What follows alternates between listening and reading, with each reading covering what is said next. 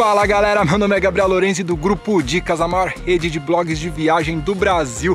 E hoje eu tô indo comprar a nossa churrasqueira americana. A gente chegou aqui já faz uns meses e a gente tá doido para comprar a nossa churrasqueirinha. E vai ser mais um vídeo da série Vivendo na Gringa, que são vídeos que mostram a nossa experiência e claro, a gente fala de educação, segurança, como é a adaptação aqui nos Estados Unidos e um assunto importantíssimo e fundamental é a churrasqueira, que brasileiro que vem para cá ou para qualquer lugar do mundo e não pensa no churrasco. A gente tem que ter o nosso churrasquinho brasileiro, né? A gente não tem como, então a gente está indo a uma loja muito legal que vende de tudo para casa, para quintal, área externa. É uma loja muito bacana, chama Lois, tem a Home Depot também, a gente vai primeiro na Lois, que vende tudo de casa, de quintal e as churrasqueiras são a gás, tem a carvão também, então é um pouquinho diferente do Brasil e eu vou mostrar para vocês tudo lá. Então, bora lá!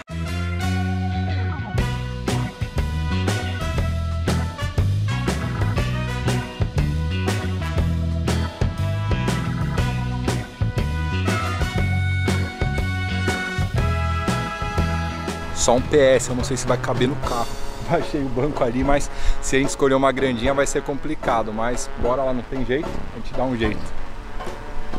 Então bora lá, gente. Coloquei aqui a Lois, ó, tá dando 15 minutinhos no GPS, pertinho de casa aqui no Intergarden.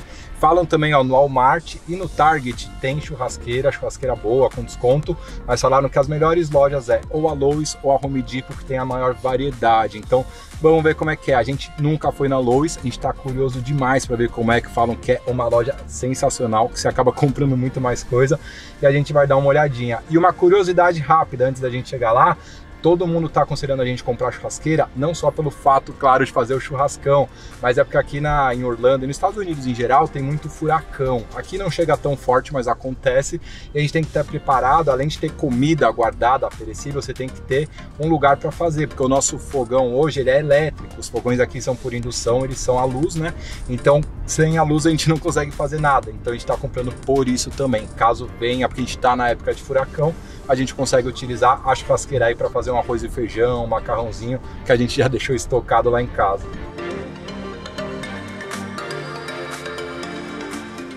Chegamos aqui, gente, é enorme. Olha o tamanho aqui por fora. Tem a entrada principal ali, a parte de jardim é gigantesco. E, gente, olha o tamanho. Me lembrou muito a Leroy Merlin, a Etna, essas lojas aí do Brasil. Olha, tem tudo, tem piso, tem coisa para produto de limpeza, parte elétrica, abajur, lâmpada.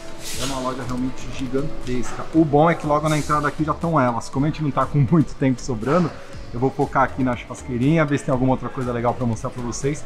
Mas olha a quantidade. Tem umas aqui um pouquinho mais baratas, né? 200 dólares. É uma churrasqueira bacana, hein? Boa, tem o medidor de temperatura, é a gás e tem as outras um pouquinho mais top aqui já, ó, logo de cara. 1149, essa aqui é top também, ó, tamanho do botão.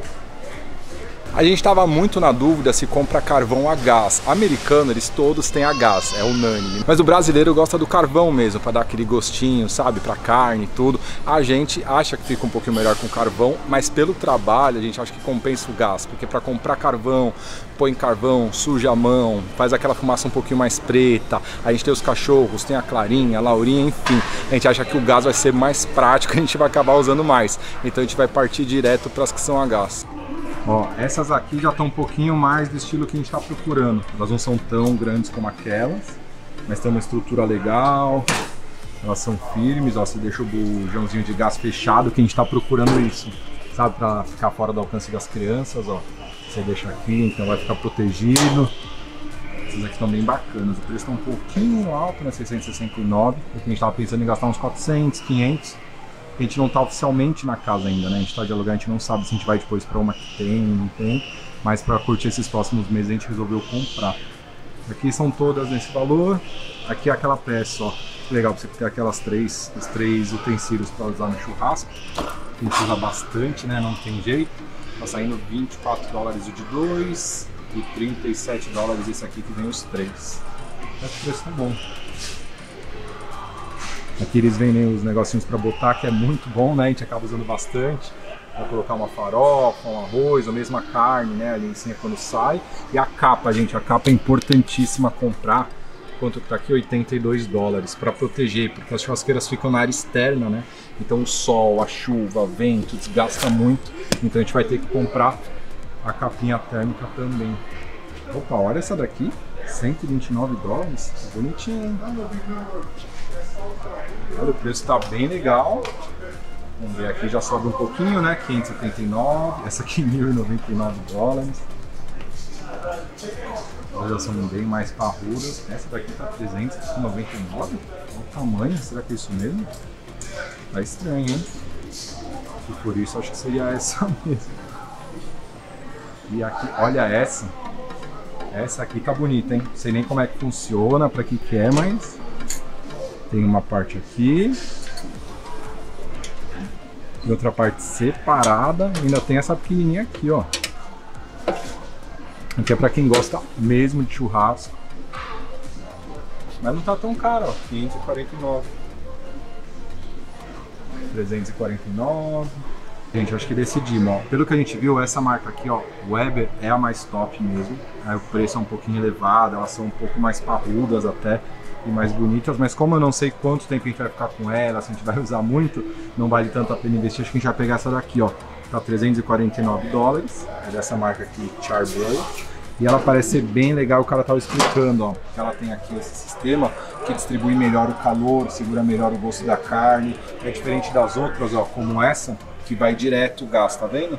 Ele sai bem diretão, direto na carne, meio focado aqui, ele consegue distribuir melhor o calor. E o tamanho dela é bom, porque tem as maiores, mas a área externa lá que a gente vai colocar, a gente não tem tanto espaço, porque já tem alguns móveis, tudo. Então acho que essa vai calhar certinho. A gente vai ter que pegar a capa, ó, 24 dólares, a capa para manter ela limpa, protegida. Vende até ó, 6 dólares esse produto para limpar ela, vou pegar também.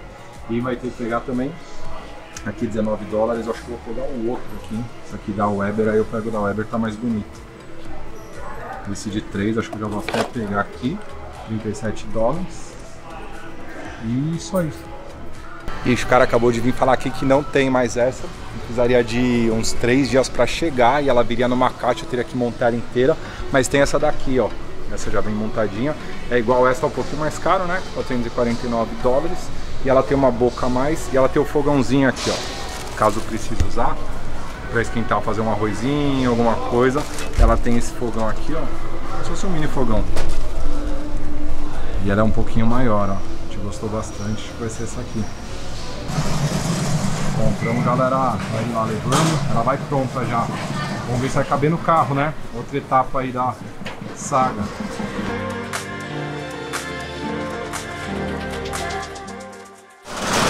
Vai, gente, só ver se vai caber ou não no carro. Acho que cabe, né?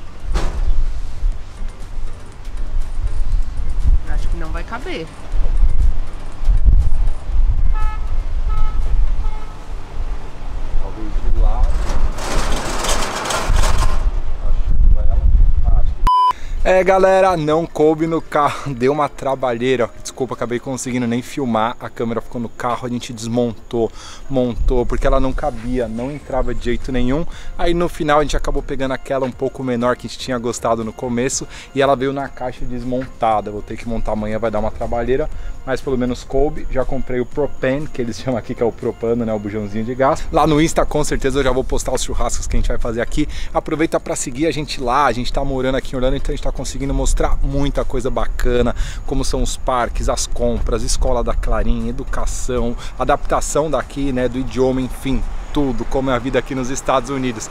E não deixa de assistir os outros vídeos também que estão muito bom dessa série do Vivendo na Gringa. Vê na playlist ou joga aí no YouTube VNG, que a gente está usando essa hashtag para todos esses vídeos e assiste que tá muito legal. E é isso, galera. Espero que vocês tenham gostado do vídeo. Se você gostou, dá aquela curtida e se inscreve aqui no nosso canal, que ajuda a gente de verdade mesmo. E não deixa de ver os outros vídeos, estão muito bom. Eu vou deixar a playlist com todos eles aqui do lado. Muito obrigado e uma boa viagem. Começamos a saga aqui. Ainda bem que tem o Igão pra ajudar. que foi, Cláudio?